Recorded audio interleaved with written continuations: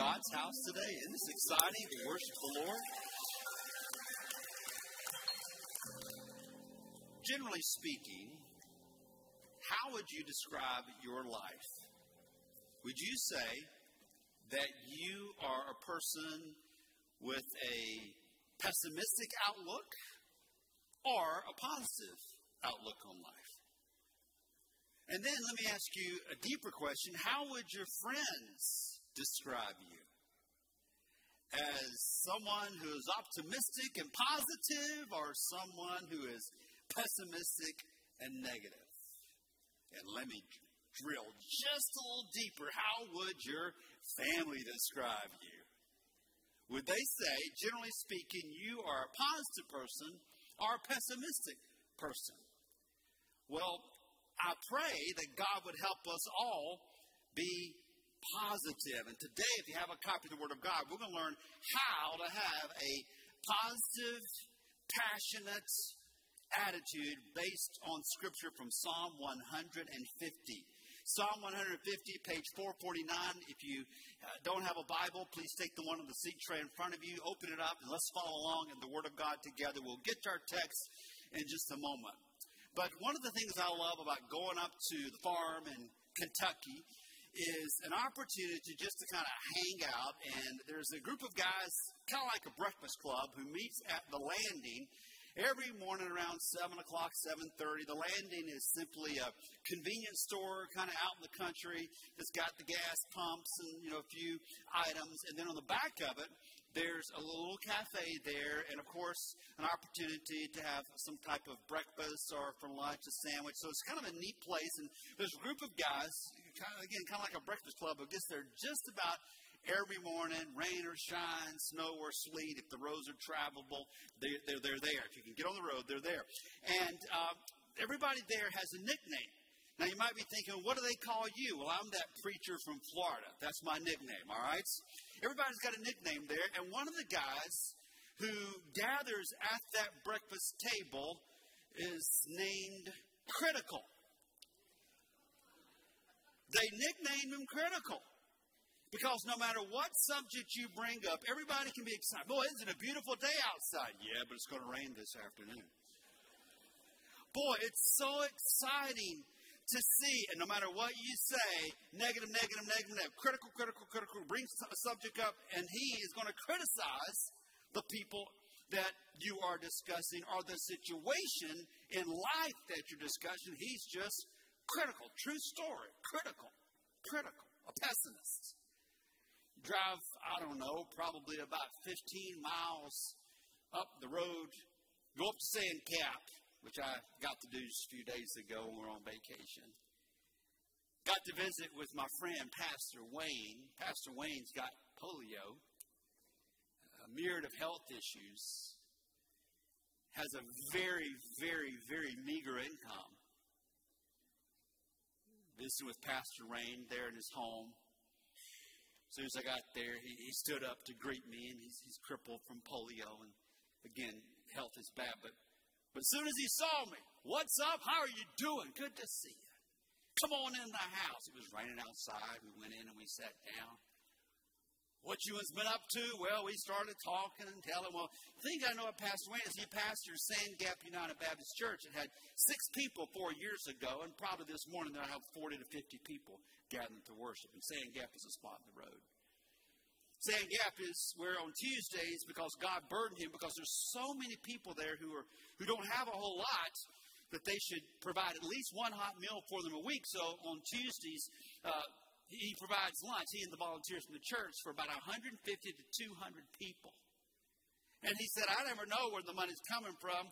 God always provides. He said, in fact, quote, I ain't good for nothing but giving things away. And when he said that that day, just a few weeks ago, a couple of weeks ago, I thought, Lord, I want to be like Pastor Wayne. Pastor Wayne is positive, optimistic man. He laughed. He had me laughing. He, he was just going on and on, story after story after story about seeing how God is working, how God is moving there in their church, peoples whose needs are being served, situations that are difficult, but yet he is so positive. Now, I don't know about you, But I'd a whole lot rather be like Pastor Wayne than I would be like critical. Anybody else like that? Yeah. And today we're going to learn from God's Word because this is the key. The key to having a positive attitude and outlook on life is understanding who God is, what He has done, and what He is doing, and how He is going to safely bring you through whatever is going on in your life. That's the kind of God we serve. Positive, faith filled. Just yesterday afternoon, I was talking to some different people on the phone, and I talked to one of our dear members who's been here for many, many, many years, and Joe Henniger, and of course her husband Cheryl's got a number of issues.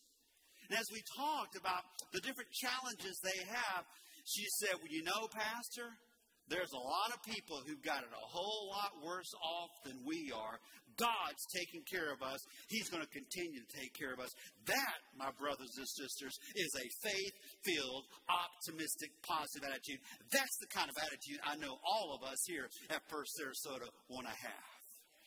Now, might say, well, how do I have that? Glad you asked. Psalm 150 is a great psalm. It's, it's concluding a hymn book a bunch of songs, all kinds of songs in the book of Psalms.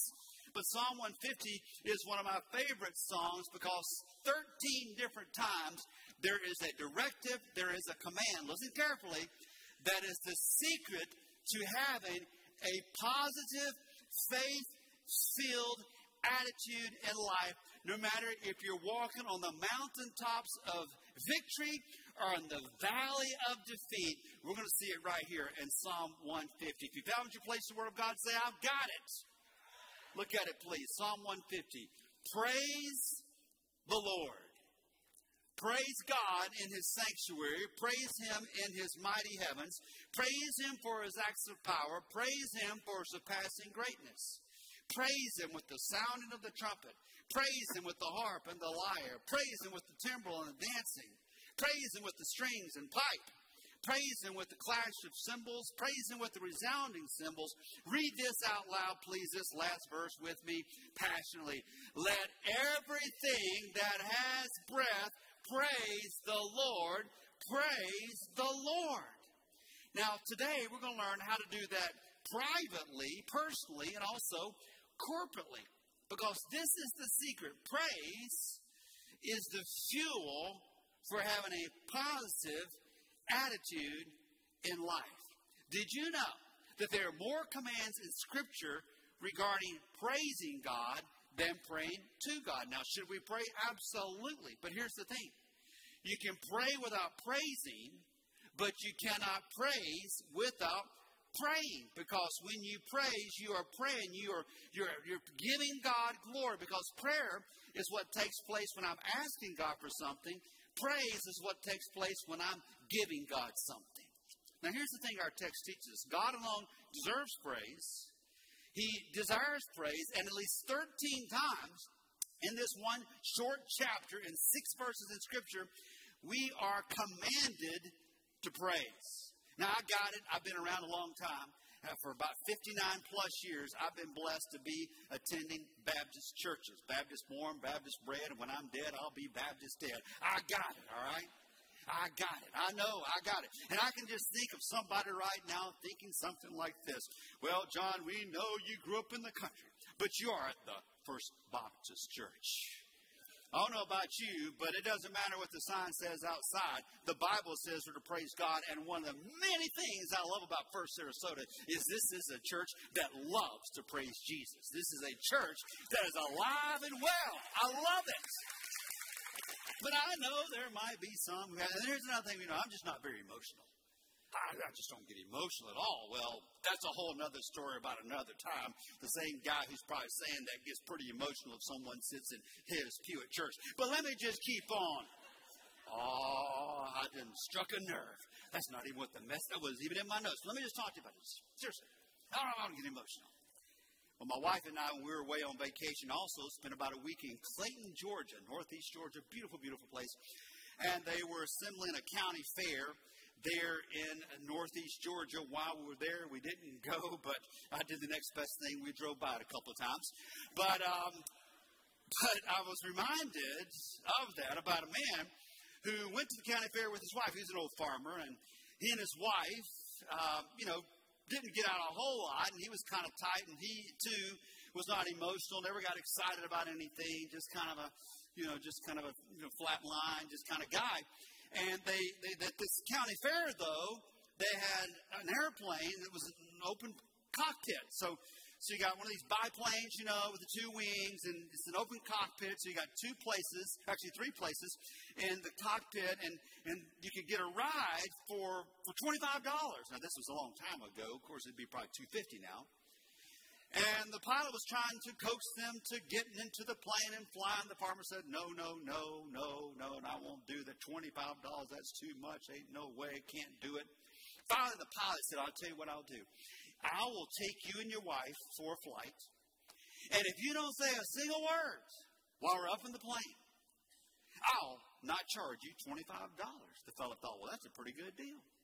So they got in the plane, they took off. Sure enough, they get high in the sky, and this pilot is going up, going down, sideways, upside down, any and every way you could turn that plane, trying to get a reaction out of that farmer. And that farmer was silent. Wife screaming, but that farmer was silent. I mean, seriously, I mean, just not a word. They landed the plane, got out of the plane. The pilot said to the farmer, I can't believe this. I did everything I could to get a response out of you. And the farmer said, We almost did. The pilot said, When? He said, when my wife fell out. Now,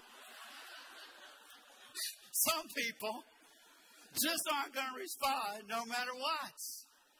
But this text today reminds us that it is positive to praise, and praise is positive. So, what are we supposed to do? Psalm 150, verse 1. Read it aloud with me. Praise the Lord. Say it again. Praise the Lord. Praise God in His sanctuary. Praise Him in His mighty heaven. So again, 13 times alone, we are commanded to pray. Now that word praise, that word praise comes from two Hebrew words that, that are very, very important. Halal and Yah. Halal and Yah, which we all know the word hallelujah, which is one that is common in just about any and every language you go to. They say hallelujah the same way. Halal and Yah, halal means to brag, Yah refers to God. So every time we say hallelujah, we're saying praise the Lord. That is the original word there in this command to praise the Lord. So let me just ask you a question. Do you have anything to brag on God about in your life from this past week? Anybody got anything to brag on God about this morning? Come on, talk back to me. Because if you don't, first of all, you can just praise God for who He is because He says who we're to praise. Praise the Lord. Praise Him. So we're supposed to focus, this is so very important. We're supposed to focus our story on His story. And when we become part of His story, He will use our story to tell His story. But let me tell you something. You're not going to use his story to tell your story because God will not be used. But if you will allow God, God will take the story of your life that He is writing right now and make it part of His story and bring Him great glory. Because here's the thing today, as we gather, you're not the audience. Our wonderful choir, orchestra, Pastor Shaw, and these singers, all this beautiful music, as they were singing, no offense, you are not the audience. As I'm preaching this book, the Word of God that never changes, that brings hope and life, that is alive, I'm not preaching to you. I, we, they, you, all of us right now are rather in the very presence of a holy, righteous, just, pure God. He is all of our audience, and all of our life is to be lived to glorify, to magnify, and to make much of Him. That, my friend, is what it's all about. And when I am positive, and when I am praising Him, then that praise fuels my passion for God. And you can't think about God without being positive. He says, Praise the Lord. Again, God is the audience. Now, mistakenly, We oftentimes think that all the people around us, are our audience, or if you're on social media, then you think of the platform that you have, whether you have a, a hundred followers or a hundred thousand or a hundred million followers. In today's world, that is often called your platform. Well, let me share something with you.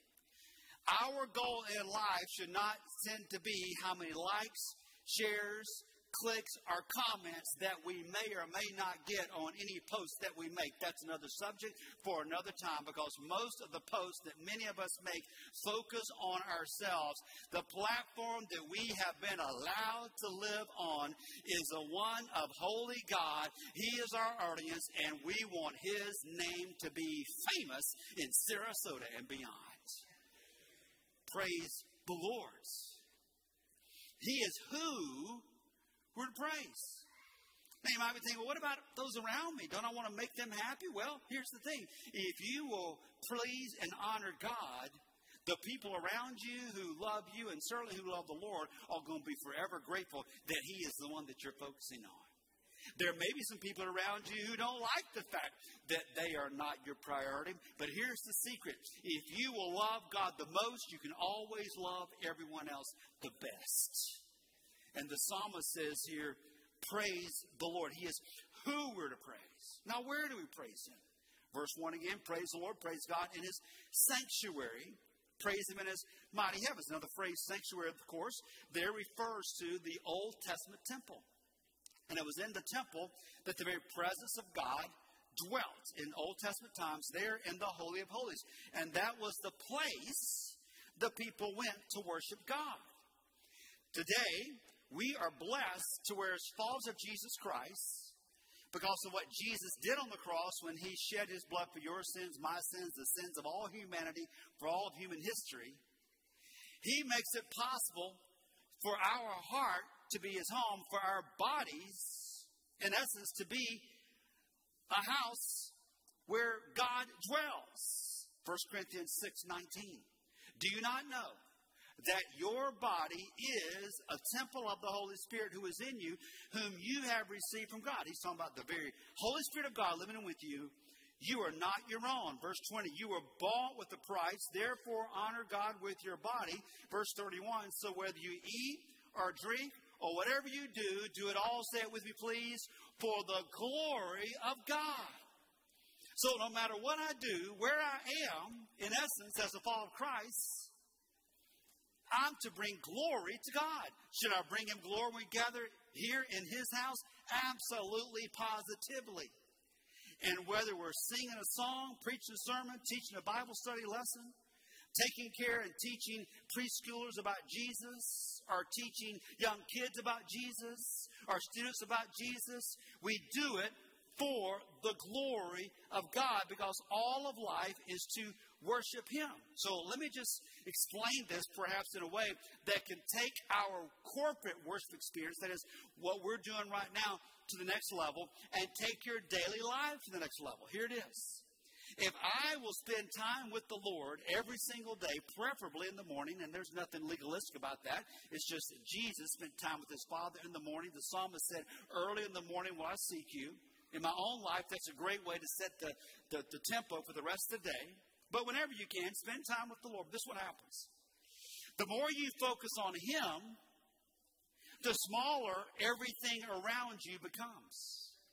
Because the greater your love, your adoration, your respect for the greatness, the glory, the grandeur, the goodness of God is, the smaller all the things that are taking place around you become. And so when I'm fretting and when I have fears personally, and like you, I struggle with those, I'm reminded that I've got my focus in the wrong place. The text here says, Praise the Lord and praise Him in His sanctuary. And then he goes on to say, praise him in the heavens. And the fact of the matter is, is that some scholars believe that basically, in many ways, what that's saying is wherever you are in the sanctuary, in the heavens, anywhere on earth, ultimately, you are simply to praise him. And that's what Paul says in 1 Corinthians 10 31, whether you eat or drink or whatever you do, do it all to the glory of God. So if you want to take your daily worship to the next level, And if you want to have a positive attitude and a positive outlook on life, and see every situation that you deal with in that day, whether it be getting a parking ticket, or whether it be sitting down for a scrumptious lunch, or perhaps you find yourself in a long line at the UPS store, whatever it might be. Or you go to the office, or you go to the doctor, and you get some bad news. When I realize and recognize that I'm living for the audience one, please don't miss this. It changes my attitude and my actions, and I can respond in a positive, passionate fashion, trusting my all loving Heavenly Father that He is working for my good and for His glory in and through whatever is happening in that moment, whether I see it as good or bad or not, because I want to praise the Lord. And I will glorify God no matter what I'm doing. But that's me personally. But let me talk to you about our corporate gatherings. That is what we're doing right now. And I want to thank you for being here today. This is a great attendance in, in the middle of the summertime. Let me just let me just say this to you. The way we take our corporate worship to the next level with being passionate about who God is, grateful to be in His presence, the way that happens is if I realize and recognize that personally, all week long, I have been praising God. I've been focusing on Him, and I'm positive that believing that He is at work in my life 24 7, 365, no matter what I'm dealing with, then when I come to God's house, guess what happens? If I'm doing that and you're doing that, look out. We're going to have some church, as we like to say in the country.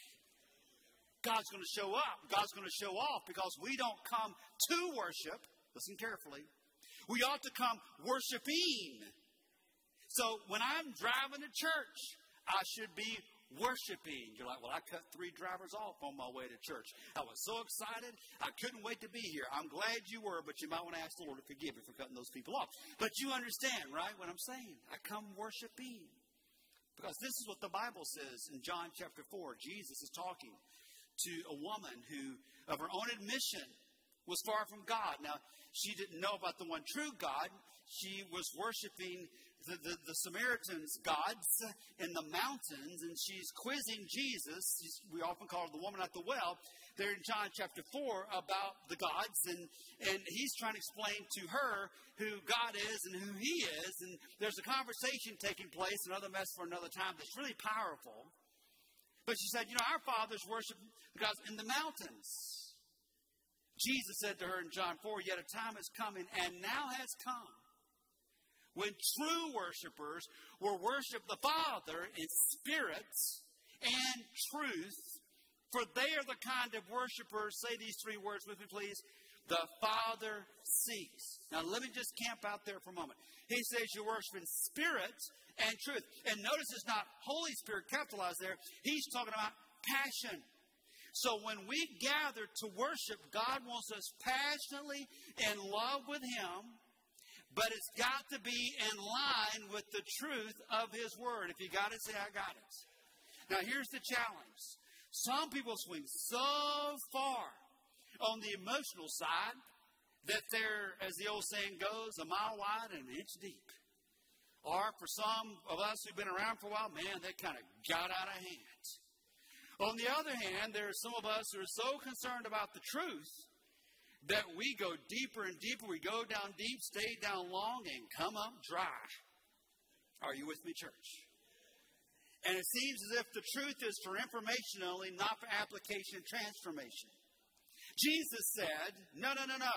When you gather, it needs to be passionate and it needs to be truthful, truthful and passionate. That's the kind of worship the Father seeks. So uh, imagine with me, please. I know God is everywhere all the time. I got that theological truth. I understand that.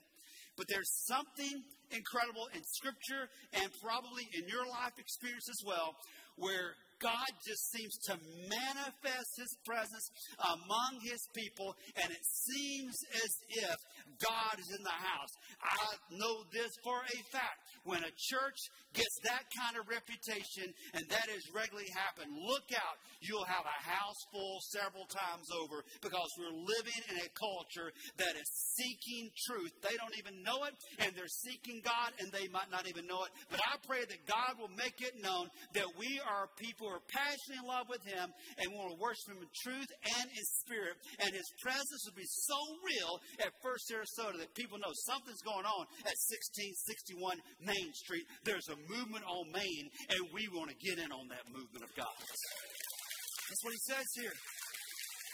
So we worship him in spirit and truth. In fact, years ago, I heard a preacher say that at their church they were he was tempted to put on their sign out front, happy hour.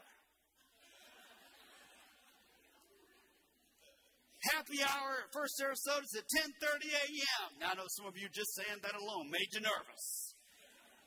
Why? Because the church ought to be the happiest place in town. We serve a risen Savior. He is alive, and He will give life and will change lives forever to all who will just simply come to Him. And we are dispensers of hope at First Sarasota, so we ought to be known as the place where God is showing up. He tells us who we're to worship.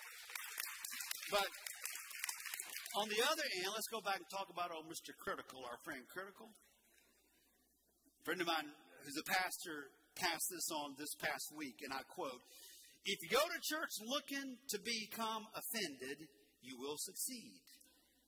If you go to church looking for places where people fall short, you will find them. If you go to church looking for imperfection, you'll see it. If you go to church looking for something to complain about, every single time you'll see it. But if you go to church looking for an opportunity to worship alongside broken people just like you, you'll find it. If you go to church looking for a place to serve, you'll find one. If you go to church to, to, to love people like Jesus loves them, you can. And if you go to church looking for Jesus, you will find him. So show up to church looking for Jesus. And I love the fact that First Sarasota is that kind of place. Now, why should I praise him? Psalm 150, verse 2. Praise him for his acts of power, for his surpassing greatness. Now, when you think about the acts of power for the children of Israel, of course, their minds, no doubt, probably go back to where God brought them out of Egypt, took them to the promised land.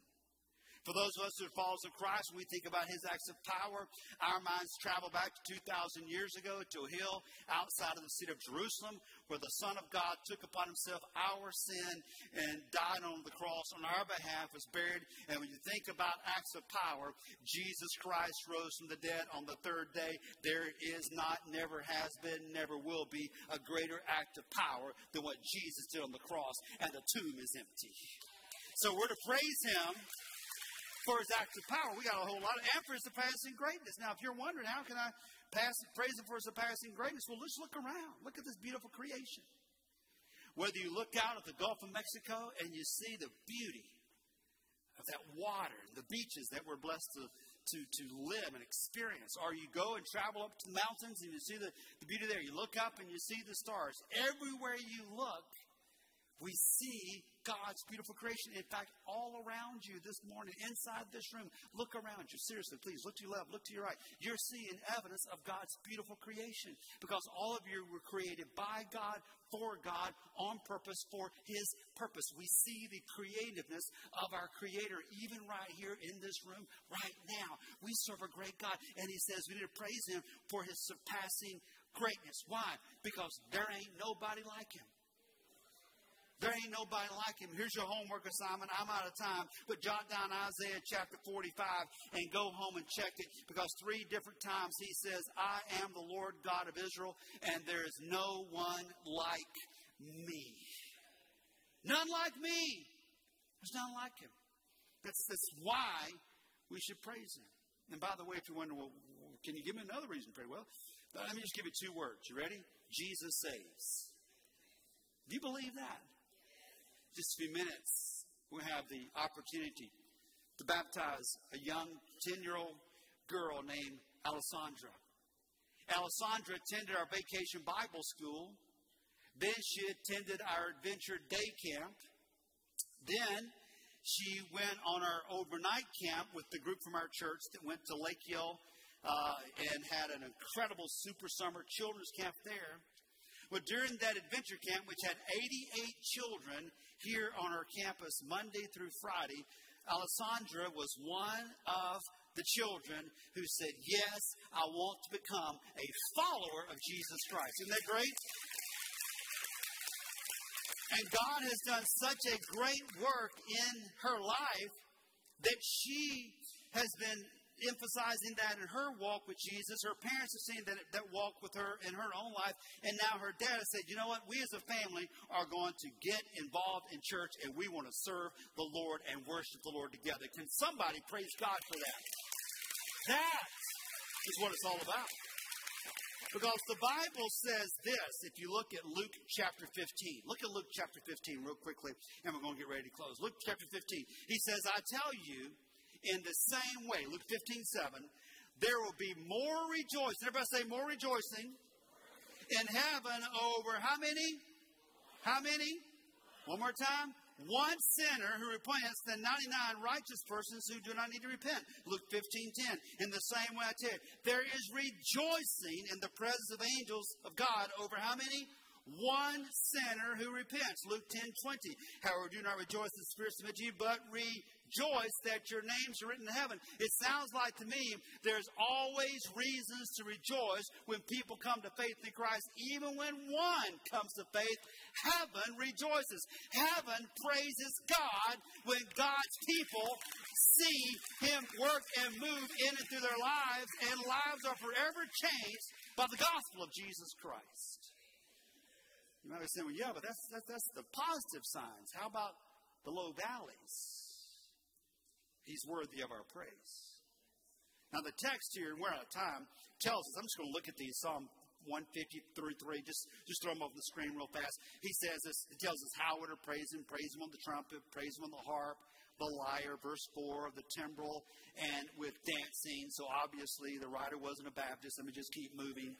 Uh, the, the, the, the, idea there, of course, is one of joy, right? One of joy. If I say joy, nothing bad, nothing bad, but timbrel, dancing, strings, pipe, clash of cymbals, resounding cymbals. Sounds like to me a beautiful orchestra lifting praise to God. And I love how he ends it in verse number 5 or verse number 6. Let everything, let everything, let everything that has breath praise the Lord. Did you know that when a cow says moo, what he is saying is praise the Lord?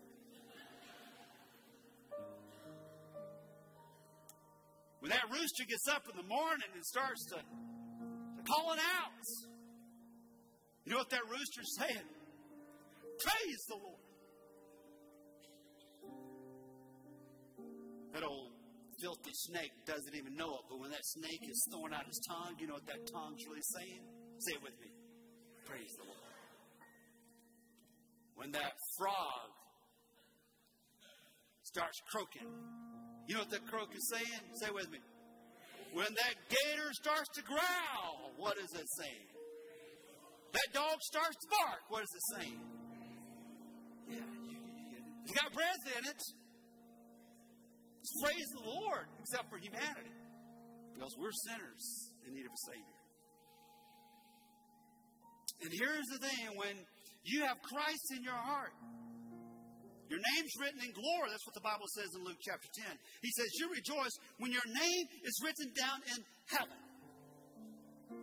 So this morning, if you have nothing else to rejoice about, listen carefully. You rejoice over that. And there are going to come times in your life where you might not think you have any other reason to praise Him.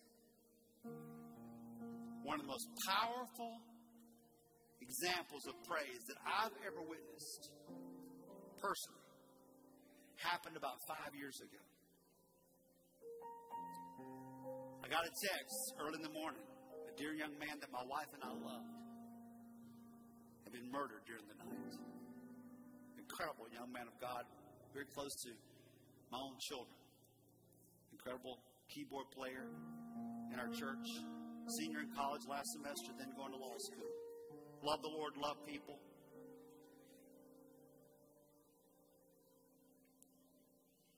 My heart sank for his mother, his siblings.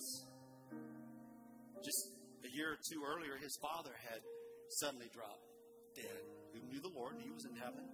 This young man, Jonathan's now in heaven.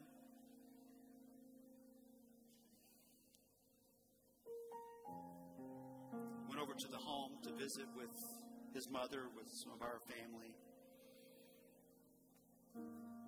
As soon as I walked in the house, began to speak with his godly mother. She lifts her hands this was her prayer in tears. I bless you, Lord. I praise you, Lord. I glorify you, Lord. Over and over and over again.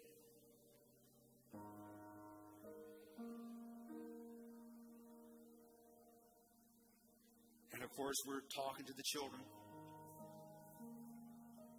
our best to love on and pray for, pray with, cry with. Those are the kind of things that are extraordinarily difficult for every one of us.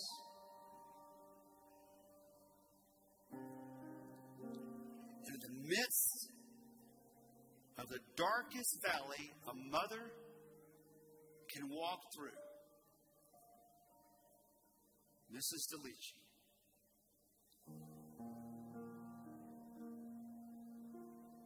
praise you, Lord.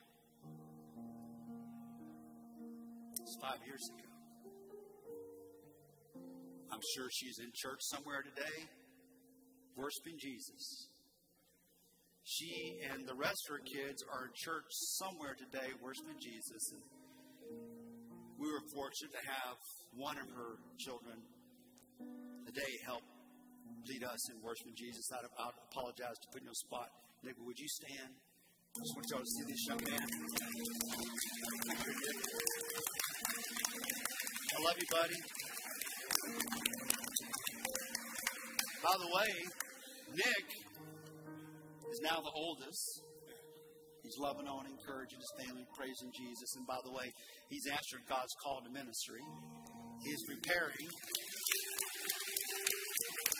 He is preparing for ministry at our Baptist College of Florida online and has how much more time? About a year, and he's going to graduate. So when you think about, can I praise God with what I'm going through? Why don't you remember and allow God to use this to your family to encourage you that no matter what you're facing, no matter what you're going through, God is bigger. Let everything that has breath praise the Lord. Would you bow for prayer? And I don't know what you're going through, but night and day, day and night.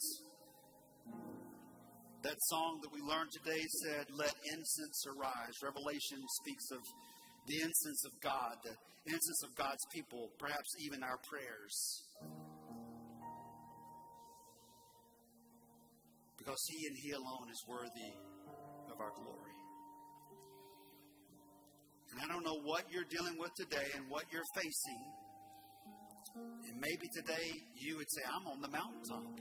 And I give God praise and I rejoice with you.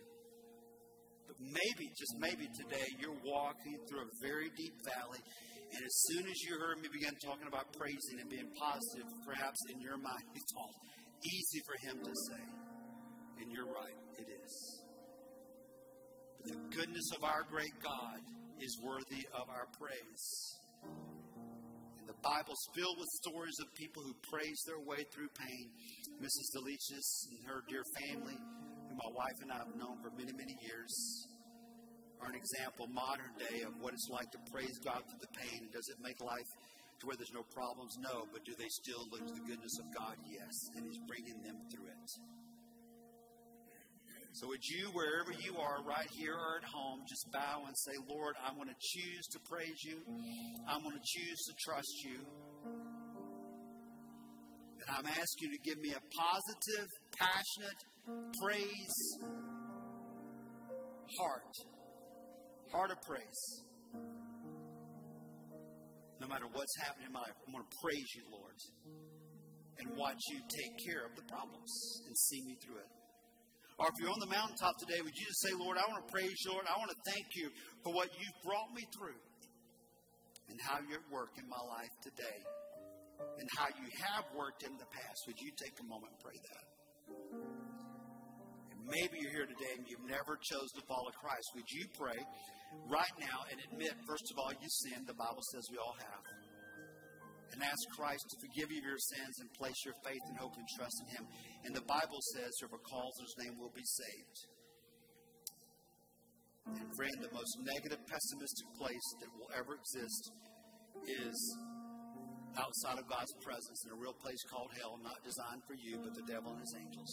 But if you go there, you have gone because you chose to say no to God's love. I implore you, please don't say no to God and His love. Open your heart to Him today. And just say, Jesus, today I ask you to come into my life. Give me eternal life. May my life never, ever be the same again. Cleanse me, change me. Make me your child. And then, lastly, as a church, that we pray that we'll be known as a praising church that's filled with spirit, worshiping God in spirit and in truth, according to His Word. And that God's manifest presence becomes so known here because of Him at work within us. That as Christ is lifted up, He would draw others to Him. Father, we thank you for your word. You and you alone deserve our praise. You're worthy of it all. And Lord, your word reminded us of that today. And we know every good thing is from you, through you, by you, for you, and ultimately to you. We give it back to you where you deserve the glory. And I ask that today, as we continue to worship you through giving, that God, our gifts will remind us that you are worthy of it all. Thank you for your love in our lives and for your goodness to us. May our lives be filled with positive praise for you. And help us get our focus off of ourselves where pessimism and negativity abounds. We pray this in Christ's name. And everybody said, Amen and amen. Well, thank you.